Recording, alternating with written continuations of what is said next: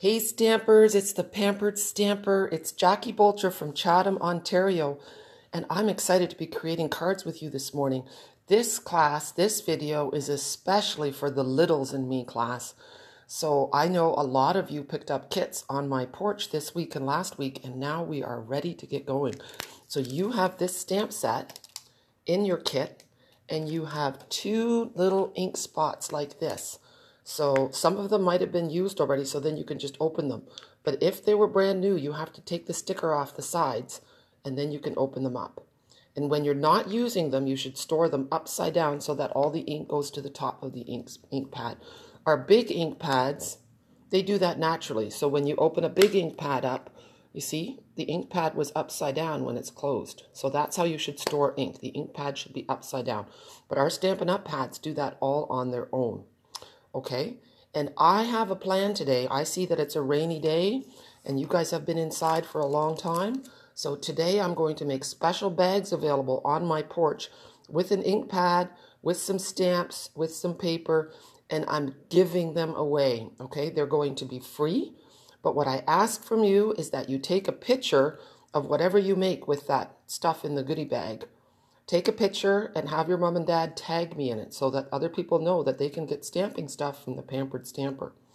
So in your kit, you also had a whole package of 20 note cards and envelopes. So the note card, if you look at it, you probably can't see it in the video, but there's a line in the middle of the card, and that's where you fold it, okay? So we're going to get started. So with your stamp set, this one, you take the little skinny piece of plastic just off and put it in a safe place. Put it in the box that it came with.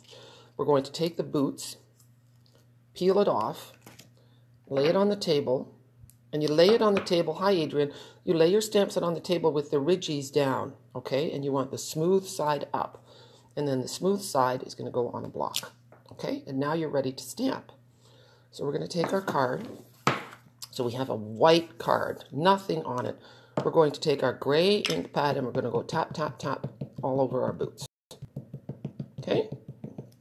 Then we're going to turn it around, kind of decide where they're going to go, and give it a nice one, two, three, four, five press. Hi, Rachel. And there's our boots. Okay? Now we're going to take and make the boots pretty. So we're going to take this stamp. Now, if you don't have anything with which to clean your stamps, I have a chamois but you can use a baby wipe or you can just rinse it off with a cloth and water. I'm going to wipe off my stamps. I'm going to put them away for a minute. They really should go back on the plastic sheet, but that's okay. I forgot to turn my phone on Do Not Disturb, so I really hope it doesn't go off. Hi, friend. I'm going to make these boots red. I have a pair of red rubber boots, and I love them. There we go. Tap, tap, tap. You can also use a marker to color on your stamps to make them a different color. There we go. One, two, three, four, five. Look how pretty those boots are. We're going to wipe off the stamp and then we're going to peel it off, put them back on the sheet. And there's a stamp set of grass in there with little bitty flowers. Here it is. And we're going to put that on the block. And we're going to ink that up in Granny Apple Green. Don't we have fun colors for our stamp sets? What are you guys doing this morning? Did you have breakfast already? Are you still in your pajamas? I'm in my pajamas. And I'll even let you see that later on. These are my cozy pajamas. I bought them in Alaska. Look how cute that is. If you want, you can take a pencil crayon and we can color, let's see, I'm looking for a purple one, but I don't see my purple. That's okay. We're going to just use this one. And you can just color your flowers a little bit, like so. But it, they look fine if they're just left green too. You can get as fancy as you want. You can do whatever you want. It's up to you because it's your card. Now we're going to take the little bunny rabbit. Hi, Ruby. That's nice. Still in jammies. Hi, Pat. Hi, Louise. So here we have the little bunny and we're going to stamp them in gray. Now, I've used my gray ink pad a lot, and I think it might be getting a little bit dry. So here the bunny, he's just looking at things. He's looking at the world. Now, I have a special little tool. You can color your rabbit, but I have what's called a blender pen, And I'm just going to take that ink and pull it in a little bit. And now he's just softly colored. You can pick some more up from the ink pad. See, doesn't he look cute? I love rabbits. Anybody who has a pet right now, the pets are very happy that their owners are all home. And then here's a little saying, and it says, I believe in you. And that's really important that we let our people that we love know how we feel about them. You know? It's really important, especially now that we're stuck at home. I'm going to use this. I could stamp it right on the card. Let's do that because that's what you guys have. Oops, I got ink on my finger. Look at, I got ink on my finger. Not good. Thanks, Kathy. I'm just going to stamp that right on there. How cute is that? See? Done. So then you can take this, you can put it in your envelope. I moved my envelopes, just a minute, here. And we can make our envelopes pretty too. So we can put our boots on the envelope, or we could put the bunny on the envelope. Let's have a look. I think I'm going to put the bunny. And that way, they right away know that this is not a special, I mean, not a boring card. This is happy mail. Okay? As soon as they see that rabbit on your envelope, and on the back, you could do another one. And you could do something else, but I'm, I've got the rabbit theme going. So the bunny's going to go on the back too. How cute is that? And then what I do with my cards, before I send them, I just tuck them into the envelope like this. And that way I know that I still have to write in the inside. And if you want, you can put the name of who you want to send it to right away. Okay? So I am going to send this one to my grandson. So then I will go like this. This is how you write an address. You go like this. And then you write the, the street, the street name, and then the city name. So it's um, like that. And then the city, and then the province, and then the postal code. Okay? And then in the top corner, you write who it's from. And you write your street name, and your city name, and your province, and your postal code. Okay? So, what I would like you to do, I would like for you to make your card or an envelope and send a picture of whatever you're doing when you're making it, and then you can get a free card kit from me. Okay? That's going to happen on the porch. I will put a notice out as soon as I have them ready. I don't know how fast I can do it. So, this is going, let's see what happens with our second card. So, now we're going to take the grass. Oh, I almost stamped on my card. This is another one I have. This is not good, people. You guys thought, Jackie, what are you doing? Okay, we have a nice naked card here. I'm going to give it a little fold. And we're going to start. I know inky fingers are pretty normal, guys, and, and the ink won't come off. You can wash your hands, but that your inky fingers will not get clean till you wash your hair. That's what takes the ink off. Isn't that crazy? I'm going to have a sip of coffee for a minute. Okay, so now we're going to take the grass and I'm inking it up and I'm going one and then stamping again. And look what happens when I stamp twice. I get a lighter color. I'm going to zoom in a little bit for you guys. There, how's that? That's better. So ink up and then I'm going to stamp again and I get a lighter version. How nice is that? And then here I can go up a little bit higher if I want. Really cute. So that is my grass going all the way across. And then, I don't know, if you guys bought the first kit, then you will have a thing of clouds, but I can't find my other stamp set. So I'm going to color some clouds or sponge, yes. So what I can do for you guys too is I can include a sponge in your kit and you can cut the sponge up. Now I was hoping for a lighter blue, so I'm going to run to my desk and get a different color blue.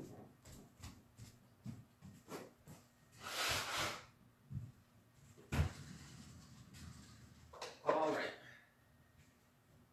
I've got it. I'm coming back. All right, this is the color blue that we want, okay? And we're just going to sponge some blue clouds. So you just go like that with the sponge, tap, tap, tap. We're to fold our cloud, our card, and we're just to go like that. There we go. See? And then if you want to make your sky darker, you can just sponge on your edge, on the top. See? Sponge is an amazing thing. So here we have our clouds. And then I was going to say let love grow, but I can't find it. But you can also write, okay? You can write whatever you want to say. Now I'm taking my little bunny again, and we're going to stamp him on a scrap of white. And then we're going to cut him out. Okay? Here he goes. Take your scissors. You can put a whole family of bunnies in the grass if you like. There we go. And when you're cutting, if you turn the paper while you cut, that makes it a lot easier and it gives you smoother cuts. And you don't have to go right on the line. You can give it a little bit of a, a shadow if you want. You just don't want to cut any parts off. But if that happens, that's okay. You can just stamp another one. That's why I like stamps so much. They're better than stickers.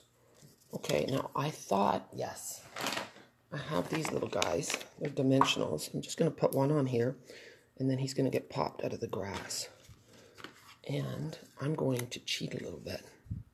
Look how cute that is. So here you could say, Hi, Grandma, or Hi, Grandpa, or I miss you, teacher. You can just write whatever you want in the top. I stamped, look, I stamped Let Love Grow, but you can take a marker and write whatever you want, okay? Or you can just write, I love you. So that's what's really nice about these cards. So I'm going to leave this one blank and I'm going to write something or stamp something later, depending on who I'm going to send it to. Okay, so that's card number two. Isn't that great? Yeah. All right, now the third card that I made is this one. So this stamp is also in the kit. And when I first saw it, I wasn't quite sure what to do with it. So let's peel it off. And it's a front door with some steps. And it goes like that because the steps are here. This would be upside down, even though that's kind of the way you want to put it. All right, we're going to clean off my grass with my chamois. So we're just going to give that a nice rub. Peel it off. And when you're peeling it off, just kind of slowly pull it off, okay? You want to be gentle with your stamps. And then lay this one on the table. Put it like so. All right. Now we're going to ink it up with gray. I got a little bit of green at the bottom, but that's okay. Because that's where our grass is going. And now I'm going to put this near the top.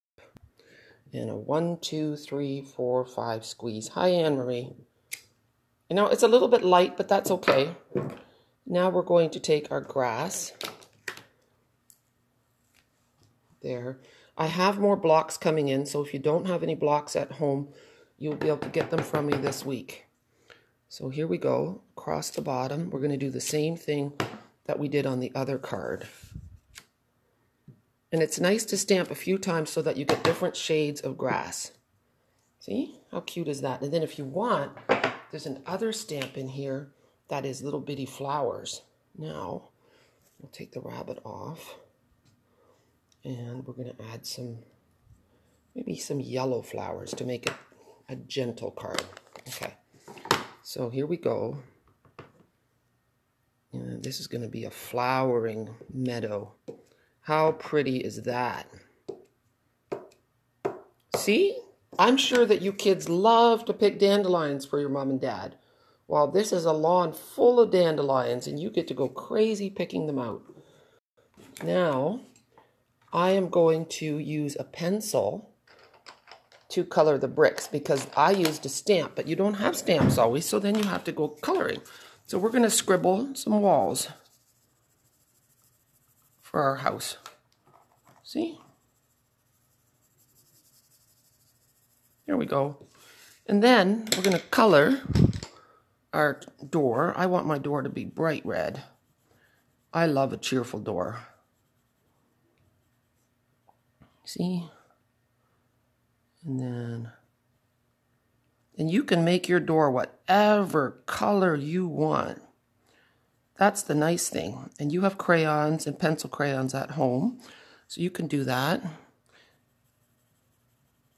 See? Just like that. We're going to give the, the lamp a little bit of yellow in here. We need it to be cheerful. The lantern is also going with a little bit of yellow light. We're going to add some green to the trees. These people have a really nice front door. They've got lots of fun things. We've got a pot of plants there. Wow. Oh, my front porch look nice. I have some rocking chairs on my front porch. There we go. We're going to do this. See, and I like to turn it sideways. Like so. That's looking good. Now, I don't know if I have a gray one. This is, here we go. And then we're going to make some light come through the windows too by adding a little bit of yellow. Hope you guys can see me okay. There we go. And then here in the front door too, we'll add a little bit of light coming through. See, right away it looks cheerful, doesn't it? Now I'm going to take my blender pen and I'm just going to blend these up so it doesn't look like I scribbled so much. See, this fixes everything. I also ordered more more blender in a week or so I will have blender pens and maybe I'll make a new kit for you guys with blender pens. And then when you want to clean your blender pen, you just swipe it like that. And now we're going to do our door. But you see how it changes my scribbly lines into smoothness? Yeah, makes it a lot prettier. I call a blender pen a naked marker because it picks up any color that you want. And if you guys are commenting right now, I'm sorry, I can't see it because I'm coloring. Okay? And then here you can say whatever you want. I already stamped something in a circle, see? Like that. But it look oh I have red fingers. But it looks kind of blah like this. So we're going to add a little bit of blue for a sky in the air around the top. The sponge is always a really nice thing. And if you make a mistake and you get a piece of red ink where you don't want it to be, then you can put this on there. Let's have a look. You know what? You can do this, and we'll take some red ink, because that's what I, look. There, see? You can do that. Pop that up like that. Or I have a stamp set here, and I'm going to say, I'm so very thankful for you. Okay, we'll take this off the block and we'll stamp it in red since I have a red smudge going there. Okay.